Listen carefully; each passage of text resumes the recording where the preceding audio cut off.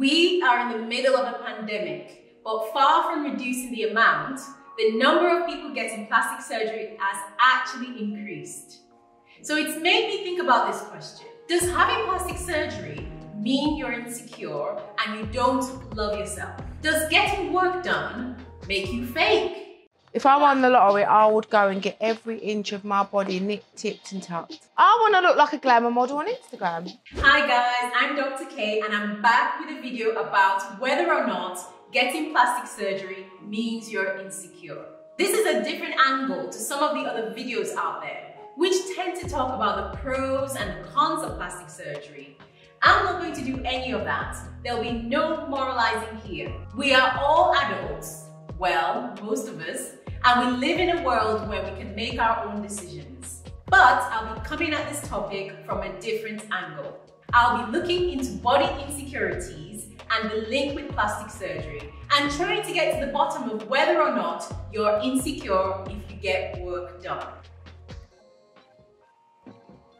With all this plastic surgery floating around, more people have been vocal about it and basically saying that anyone who gets plastic surgery must be insecure and don't love themselves. But then we've got just as many people who are arguing that this has no relevance on this topic and this is not the issue. So which side is right?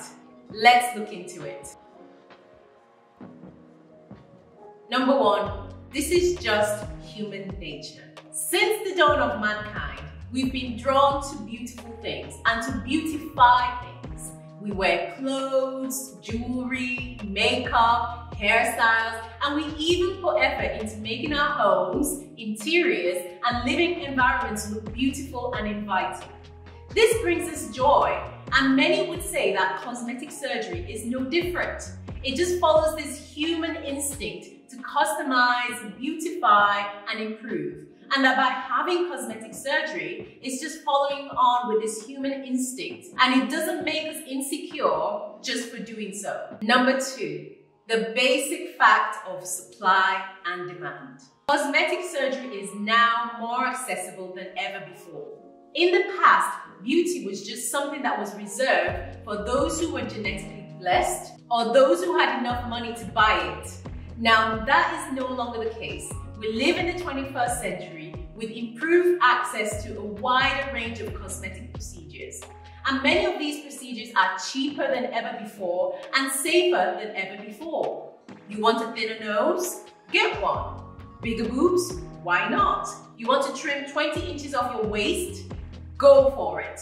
So it can be said that all we're doing is just taking advantage of what's now available and making the most of these opportunities to improve ourselves. And there's nothing more to it than that.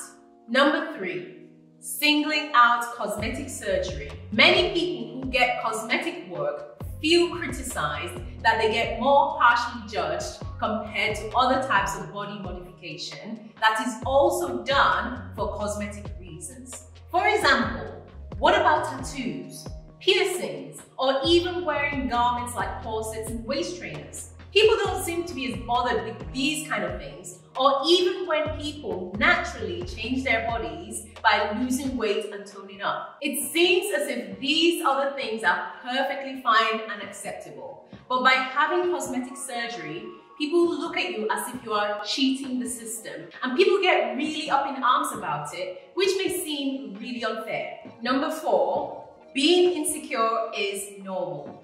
When all said and done, you are still a real person with real feelings, body parts, emotions, and having a certain body part is only one small part of what makes you unique. So it's entirely normal to not like one tiny part of yourself, but still be happy with yourself as a whole. This is something that is common, that we can all relate to. We all have a list of things that we'd like to change about ourselves. And being insecure about something doesn't make you an insecure person. Number five, damned if you do, damned if you don't. Society is so cruel to women who are not regarded as being conventionally attractive, especially if you're in the public eye. But then, as soon as they get surgery, they're labeled as fake. It's a lose-lose situation. And I can think of certain celebrities that come to my mind in this situation. I mean, what do you expect? We bully these people relentlessly with horrible nicknames, we zoom in on their flaws, and then when they decide that they've had enough and go and fix whatever issue it is, we bully them some more for getting surgery. It's like the squid game, just set up in such a way that you have zero chances of getting out with your life or your sanity intact. Number one, we are all influenced by what we see. It's naive to assume that as human beings, we're not affected by the messages we're being fed by the media and our environment. So you have to question whenever people are adamant that they're 100% not being influenced by anything whatsoever. Are you for real? I mean, do you live in a vacuum? Because that's the only way that can be the case. The truth is we are all influenced from what we have for breakfast to what clothes we wear. In fact, many things that are popular right now are popular just because enough people have liked it. Not because it's particularly groundbreaking or special or unique. So whenever somebody says to me and is adamant that when it comes to the issue of cosmetic surgery, that they're not influenced at all, I'd like to ask them this question. If you were dropped on the planet Zorg, where the idea of an hourglass figure didn't exist, because everybody's got eight tentacles and six brains, would you still want to have that BBL? Yes? No? Drop your answer below. So in this case, can you say that this is a decision that is purely being made for you and has not been influenced by anything at all? No, of course not. Number two, can you improve on perfection? While I understand the whole self-improvement angle, the fundamental truth is that if you see the need to enhance something, that means you don't like what it looks like now. Let's be honest, if you were 100% happy with something, you wouldn't feel the need to change it, upgrade it, or tinker with it. Because the very virtue of upgrading or changing something means that there is a deficiency somewhere or that there's something lacking. So in a way, by getting work done, what you're implying is that there's something that needs to be improved, that something isn't quite right and needs to be fixed. It's like going to a Michelin star restaurant and tasting the best dish on the menu and then saying, oh, I think it needs some more salt.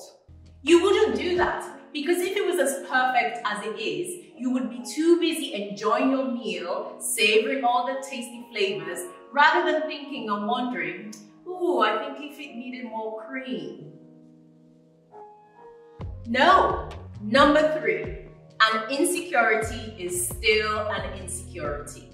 This is to counteract my earlier point in which I said that it's normal to feel insecure about certain things and that doesn't mean that we are insecure people. However, while it's normal to feel insecure about certain things, looking at it from a black and white perspective, an insecurity is still an insecurity. Especially when this is all coming from a negative place a place of lack and insecurity, which then drives us to take risks and make changes to our physical appearance or resort to increasingly extreme measures that may even have fatal consequences. Just because it's commonplace to have some degree of body image hang up doesn't mean we all have to pander to it. And perhaps instead of focusing on these external things, we should look at where this insecurity comes from in the first place and address that. Number four, quick fix culture. At the risk of sounding like an old person.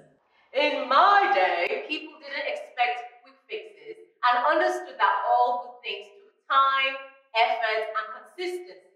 Okay, rant over. I'm done. But nowadays, it's all about this instant gratification and quick dopamine hit. Whenever we have a problem, we look for a fast and straightforward fix. And bish bash bosh, Bob's your uncle, there's a solution, problem solved, and we can all live a happily ever after. I blame Disney and the generic hero story trope for this. As a doctor, I often have to tell my patients that real life isn't like that. The reality is that many problems have multiple causes, and there's often no clear reason why certain things are the way they are. And life can be unfair. I mean, that's why I'm only five foot two instead of the six foot glamazon I am inside my head. Why this long rant? Because people carry over this simplistic thinking into body image issues. Here's a typical example. We have girl A, and girl A thinks, oh, the reason I'm so unlucky in love or I have poor self-esteem is because of my crooked nose or my love handles. Girl A then goes on a mythical quest to fix the problem, i.e. she gets a nose job or a BBL. And voila, all her problems are gone. Except they're not. They're still there. And only this time she thinks, well, since that didn't work, maybe I need to go for round two of my BBL, or I need to fix something else for this to work. And so the cycle continues. It's seen as a fast track to confidence and body positivity, but unfortunately, there are no such things as quick fixes, not when it comes to your health and body image. So let's go back to my original question. Does having plastic surgery make you fake? The answer to that is clearly a no. Well, not exactly. There are many reasons why people get cosmetic treatments, whether it's to be part of a peer group, to feel accepted within a culture, for career or social progression, or just to improve your dating and romantic prospects. However, we also need to be honest with ourselves and appreciate that very rarely do we make decisions in isolation. There are lots of things that influence us to make certain decisions. There is definitely a link between negative body image body dysmorphia, and the rise in cosmetic procedures. And unfortunately, this link is increasing and carries potentially negative consequences. No matter what the reason is, the only correct answer is because you want to do it and not because of or for someone else. So what do you guys think? This whole topic of body insecurity and cosmetic surgery is a very popular topic and I'm sure you've got something to say. Well, why not drop a line below and let me know what you think. And whilst you're down there, you might as well consider giving this video a like and consider subscribing. Why not get comfortable and check out the next video I've got lined up and I'll see you next time.